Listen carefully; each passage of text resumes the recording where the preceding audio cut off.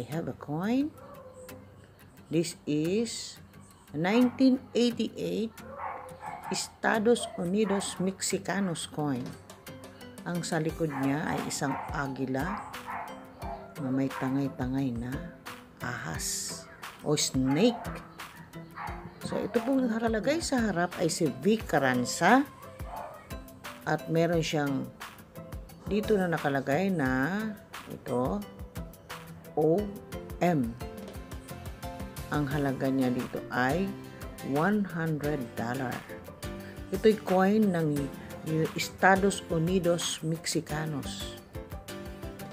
Ito po ay gawa, composition po nito ay aluminium bronze. Circulated coin po. Type ng coin nito ay circulated coin. Ito'y ginawa noong 1984 to 1992 itong coin na ito. At ang halaga po nito ngayon ay 1,900 pesos ang halaga po niya sa Philippine money. Ganon po kamahal ang coin na ito. 1,900 pesos. Itong coin ng Estados Unidos Mexicanos. Yan po. At ang sa harap ay si V. Carranza. Ayan, Carranza. 100 dollar 1988 coin. At ang edad nitong coin na to ay 32 years old ang edad ng coin na ito. So, kung meron po kayo nito, kung marami kayong ganito, at sa 1,900 sa Philippine ko, sa Philippine money, it's a lot of money.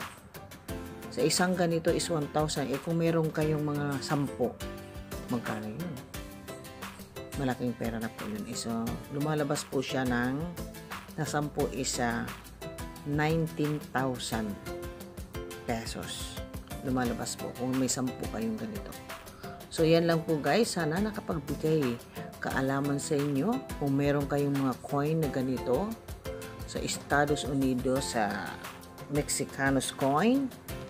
May halaga na po itong 1988 V Carranza ang nakalagay sa harap ng kanyang coin.